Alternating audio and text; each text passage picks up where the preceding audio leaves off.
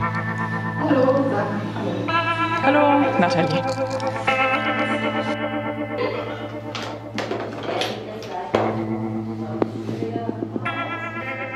Ich habe auch noch dieses hier mit. Das ist mehr so rot. Ja, also Ja, sind das Ganze? Mhm. Das ist wie in meiner.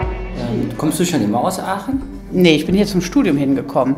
Äh, 87 im Herbst. Ja. Und habe dann hier politische Wissenschaft und Germanistik studiert und habe dann bin da in die Hochschulpolitik eingestiegen, weil sie hier die Fakultät schließen wollten, an der ich studierte. Und so bin ich dann, war schon vorher politisch über Kirchentag und äh, mein Bauch gehört mir, weg mit dem 218, das war so der Hintergrund.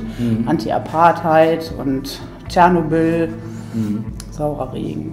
Ja, und dann bin ich in Aachen hängen geblieben nach dem Studium. Alle wollten weg, also alle wollten hier bleiben, ich wollte weg und ich bin hier geblieben, habe dann an der Hochschule gearbeitet. Und Aachen gefällt dir super? Aachen ist eine super Stadt. Es ist äh, eine europäische Stadt. Das hat mir immer gut gefallen. Das war auch beruflich immer ein Thema für den Technologietransfer und die wirtschaftliche und wissenschaftliche Zusammenarbeit. Das war schon, das hat mir immer gut gefallen. Im Studium, vor dem Studium, nach dem Studium. Das ist einfach so ein kleines Europa, was wir hier haben, so mit offenen Grenzen und äh, viel Interaktion zwischen den Regionen in der Euregiomas Rhein hier. Das ist top. Wenn, also häufig ist das ja bei der Presse, die sind ja nicht alles nur super Profis. Ne? So, und jetzt schaust du irgendwann rüber.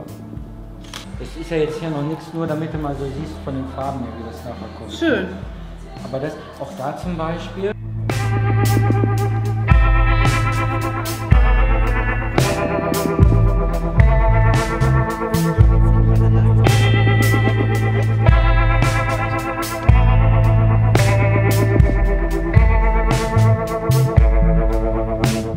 Das ist eine deiner Lieblingsgegenden hier?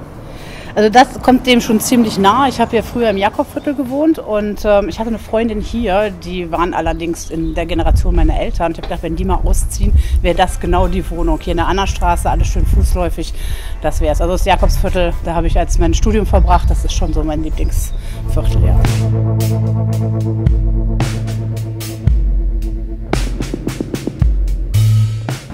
Aachen 20, 2030, was müsste sich da unbedingt verändert haben? Ja, autofrei, ne, ist ein Thema. CO2-Werte runter. Auch keine Elektroautos, Äh, sondern ja, man kann natürlich mit Elektroautos schön viele Leute transportieren. Ne? Wir haben jetzt hier gerade den Move, äh, Ego Move vorgestellt bekommen, so einen People Mover.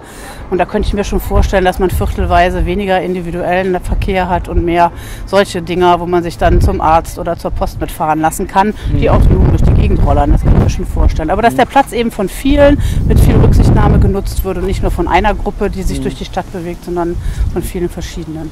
Okay, Aachen. Was möchtest du so im Wahlkampf noch weitergeben? Was ist, ist so dein großes Thema? Was ist so dein Anliegen?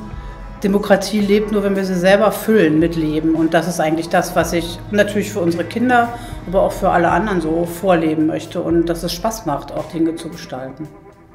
Und äh, was ist so dein Thema im Wahlkampf? Was möchtest du durchsetzen? Was hast du dir so auf die Fahnen geschrieben? Ein europäisches Deutschland. Also Europa als, als Kernthema, das ist das eine. Und das andere ist, dass wir energieeffizient ohne großen CO2-Ausstoß leben können und dass wir Dinge einfach mal anders denken.